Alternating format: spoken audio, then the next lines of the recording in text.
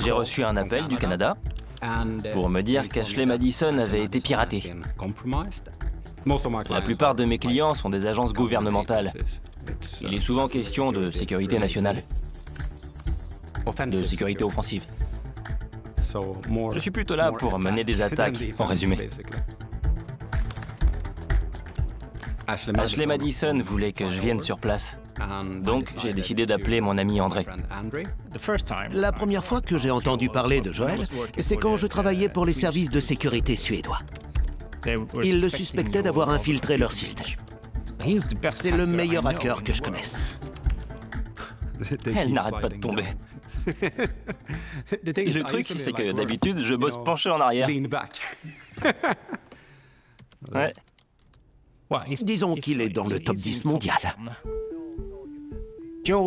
Joël m'a parlé du piratage. Et j'ai décidé d'aller sur place avec lui. Avant d'aller au Canada, je ne connaissais pas du tout ce site. Je ne juge pas, je suis suédois. On est très libéraux.